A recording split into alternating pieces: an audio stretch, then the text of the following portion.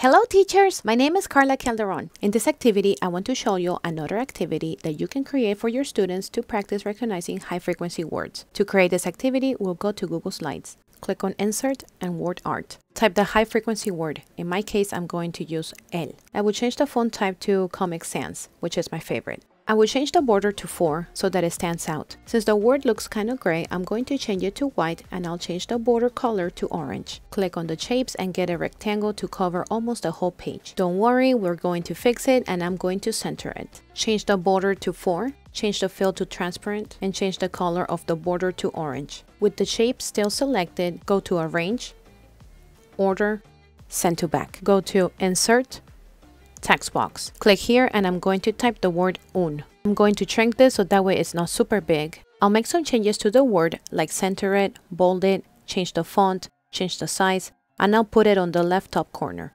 Using my keyboard, I'm going to press Ctrl C to copy the words and Ctrl V to paste them in different parts. And of course, I will double click on the word and then just change them. Basically, I'm adding a lot of words besides the word el so that way the students can recognize the word.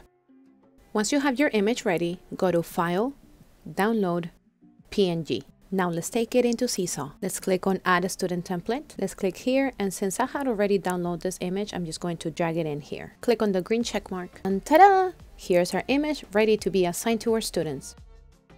Your students will click on the microphone. They'll record their voice as they are tracing the word with three different colors and they will also circle the word el. Whenever they find the word el, they will circle it and say N, el. These are some of the words that we've done.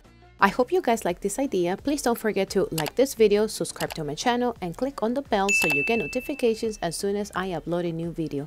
Thank you for watching and I will see you in the next one.